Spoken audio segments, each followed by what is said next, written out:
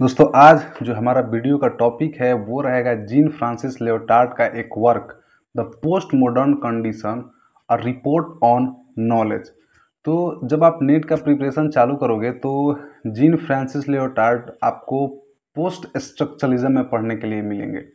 तो हम इस बुक के डेप्थ को नहीं जाएँगे एज यूजली हम बात करेंगे इसमें एक बहुत ही जो मेन कॉन्सेप्ट है जिसका नाम है मेटा नरेटिव हम उस कंसेप्ट के बारे में बात करेंगे क्योंकि वो कंसेप्ट नेट के पॉइंट ऑफ़ व्यू से बहुत ज़्यादा इंपॉर्टेंट है। चलिए दोस्तों वीडियो को शुरू करते हैं। जो ये कंसेप्ट है मेटा नरेटिव वो ये बताता है कि the believe in stability unity of the modernist people called meta narrative तो यानी कि जो आज, जो आजकल के लोग हैं, जो मॉडर्न लोग हैं तो वो स्टेबिलिटी में बिलीव करते हैं और यूनिटी में बिलीव करते हैं। तो ये सिर्फ़ बिलीव करने की बातें हैं। वो ऐसा करते नहीं हैं सिर्फ़ इसकी बातें करते हैं। इसको एग्ज़ाम्पल से देखते हैं दो एग्ज़ाम्पल लेंगे हमको और ये जो कंसेप्ट है मेटा नरेटिव वो बहुत अच्छे से समझ में आ जाएगा। पहला कंसेप्ट लेते हैं हम अपने देश के ऊपर। तो जैसा कि हम आ, हम लोग इंडिया में रहते हैं और इंडिया एक डेमोक्रेटिक कंट्री है। और ऐसा बोला जाता है कि इंडिया जो है, और ये कुछ हद तक सही भी है कि इंडिया जो है, वो पीसफुल देश है शांति प्रिय देश है।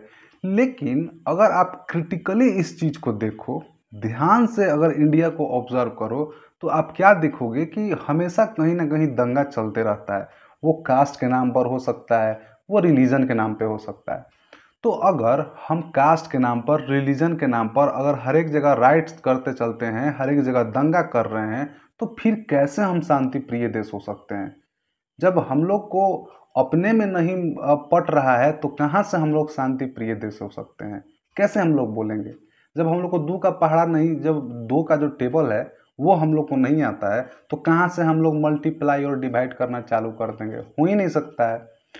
तो मेटा नरेटिव इसी को बोला जाता है कि आप बात तो करते हो यूनिटी की आप बात तो करते हो स्टेबिलिटी की, लेकिन आप उसको अमल नहीं करते, आप उसको फॉलो नहीं करते। दूसरा एग्ज़ाम्पल लेते हैं कि आज हर एक जो देश है, हर एक कंट्री वो बोलता है कि मैं वार नहीं करना चाहता, मैं लड़ना नहीं चाहता। सब लोग को पता है कि वॉर से, जंग से हम लोग को बहुत ज़्यादा नुकसान होगा। अगर कोई भी कंट्री आज के टाइम पर अगर वॉर करती है तो बहुत ज़्यादा उसको नुकसान उठाना पड़ेगा।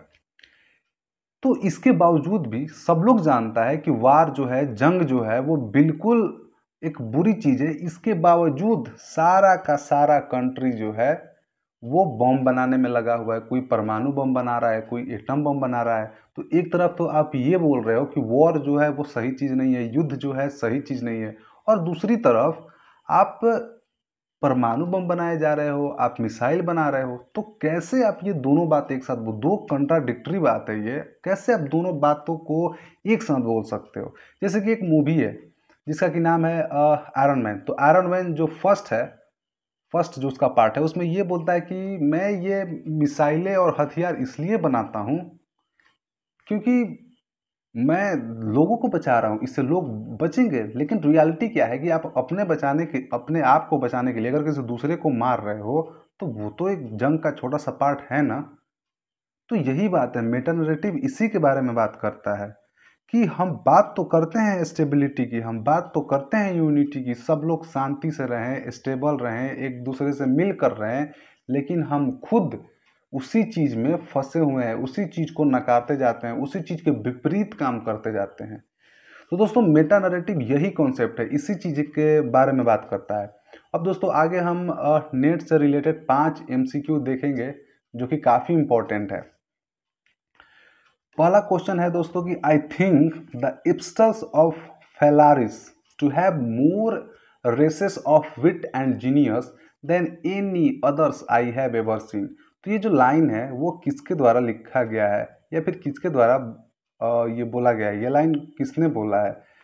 जिसका आंसर होगा विलियम टेम्पर तो विलियम टेम्पर ने ये लाइन बोली है कि I think the epistles of Phalaris to have more races of wit and genius than any others I have ever seen दोस्तों, दूसरा क्वेश्चन है one of the earliest earliest sentiment sentimental novel David Simple was written by तो जो David simple जो एक sentimental sentimental novel है, वो किसके द्वारा लिखा गया था?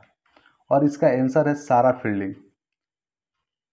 The first copyright act also known as the statute of Anne was passed in the year तो जो पहला कॉपीराइट एक्ट है, जिसको स्टैचू ऑफ़ एन भी बोला जाता है, वो किस साल लाया गया? तो कॉपीराइट आप सब लोग जानते हो। कि अगर कोई चीज़, जैसे एग्जांपल लेते हैं हम लोग एक बुक का तो किसी ने एक बुक लिखा तो अब आप वही बुक अपने नाम से नहीं पब्लिश करवा लोगे। आप पर कॉपीराइट का एक्ट एक्ट आ जाएगा, क्योंकि वो उसका मालिकाना अधिकार है, संपत्ति उसका है, ठीक है? तो कॉपी राइट एक्ट जो है, जिसको स्टैचू ऑफ़ एन भी जाना जाता है, वो किस ईयर में आया था? जिसका की आंसर है seventeen zero nine in which novel does the man of the hill recount his life story of the protagonist तो किस नोबेल में मैन ऑफ़ द हिल जो है वो आपको प्रोटैगनिस्ट के रूप में मिलेगा? जिसका की आंसर है टॉम जोन्स अगला क्वेश्चन है friends French revolution is a poem composed by तो जो पोएम है फ्रेंच रिवोल्यूशन ये किसके द्वारा कंपोज किया गया है? जिसका की आंसर है विलियम ब्लैक तो दोस्तों, आज जो हमारी वीडियो थी यहीं पर ख़त्म होती है और वीडियो देखने के लिए बहुत सारा धन्यवाद।